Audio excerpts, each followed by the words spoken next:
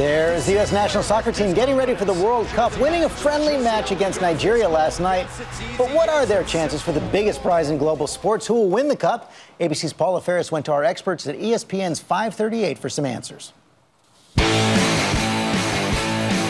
Who better to take on predicting the world's biggest championship tournament than 538 guru Nate Silver?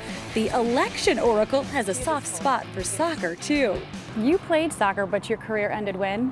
I think in sixth or seventh grade. It was my least worst sport. I was only kind of terrible at soccer. And now Nate and his team have whipped up their World Cup forecast. So it's all based on numbers. It's all based on numbers. There's not any subjective component to it. We're trying to account for both the quality of the athletes as well as team performance. Nate found everything counts, even the small things like getting there. The farther you travel, the tougher to win. Especially east to west. That might help the other South American teams. It might hurt a team like Japan, uh, who's coming from the other side of the world.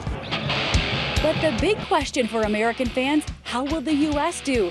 Last time, the team advanced out of the group stage, and Nate gives them a 37% chance to do it again. They played pretty well together as a team. But the chances the U.S. wins it all, Nate says it's just 4%. Well, make that 0.4%. So one chance in 200, 250 or so. In the words of Jim Carrey. So you're saying there is a chance? There is a chance. I mean, look, if you go back to the NCAA tournament, things like this can happen. It's a tough year to be an underdog. That's because of teams like these, the heavy hitters Brazil, Argentina, Spain, and Germany. You're calling it a murderer's row. You have four terrific teams that might be favorites in, in any other year. Okay, big drum roll. Who are you picking to win the 2014 World Cup? So it's Brazil's cup to lose.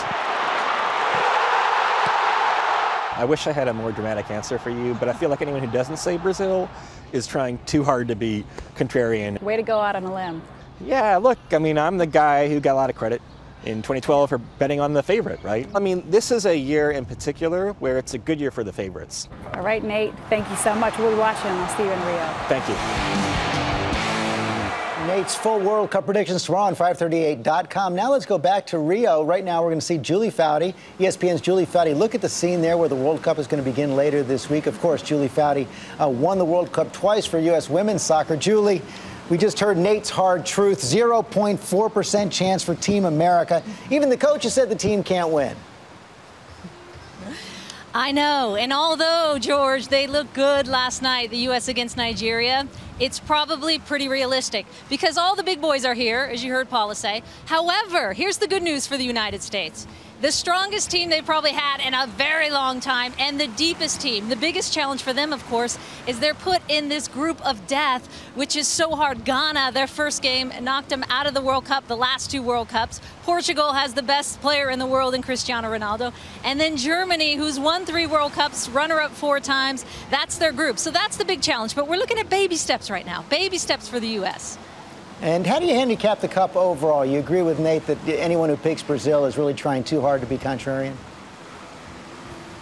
I, I actually am going to be a contrarian here, George, and uh, I, I think Brazil is the obvious choice, of course being the host here, but I'm going with Argentina. Argentina, besides having one of the best players in the world in Lionel Messi, has a tremendous team as well. They're from South America, of course. They've got a lot of fans coming. So I'm I'm going to go with Argentina to win this World Cup and not Brazil because I think there's tremendous pr pressure on Brazil being the host. Finally, it looks so beautiful right there right now, but there have been a lot of protests, a lot of anger, some security concerns. Uh, how's that playing down there?